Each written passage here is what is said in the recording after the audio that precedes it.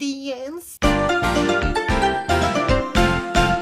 というわけでこちら YouTube コンマ2センチチャンネルをご覧の皆さんこんばんは。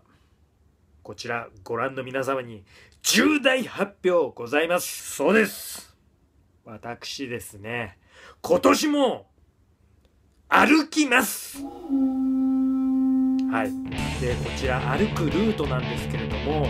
去年は日本の最北端宗谷岬から東京まで歩いたんですが今年はなんと歩いて行ける最南端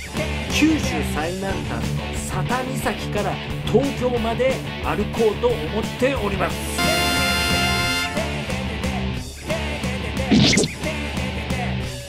詳しいルートはですね下の概要欄キャンプファイヤークラウドファンディングの URL を貼っておりますのでそちらの方をご確認いただきたいのですが、まあ、なんとなく九州を通って、え、中国地方の日本海側を通って、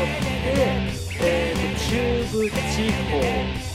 長野とかから関東に入るみたいなえそんなルートで東京まで歩いて上京しようと思っております。で、その際にですね、私にやってほしいこと、言ってほしいところを、どしどし募集しております。そちら、キャンプファイヤーというクラウドファンディングの方で、えー、いろいろこう、私に指令を与えるという、えー、項目ございますので、ぜひ皆様、えー、チェックしていただいて、どんどんリクエストをですね、えー、お寄せいただけたらなと思っております。なお、道中ですね、いろんな方とのコラボ動画なども、えー、撮影できたらななんて思っております。そちらの方も、えー、どしどし受付中でございますので、ぜひともですね、この際ですので、えなんか竹永と一緒にずっこけてみてえなとか、竹永と一緒にラーメン食ってみてえなみたいなとか、なんかいろいろありましたらそちらのの方もですね、リクエストお寄せいただけたらなと思っております。というわけでですね、皆様の応援が、えー、必要でございます。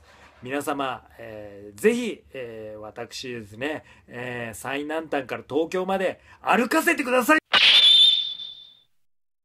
皆様のご協力お待ちしております。よろしくお願いいたしますという、えー、告知動画でした。ありがとうございました。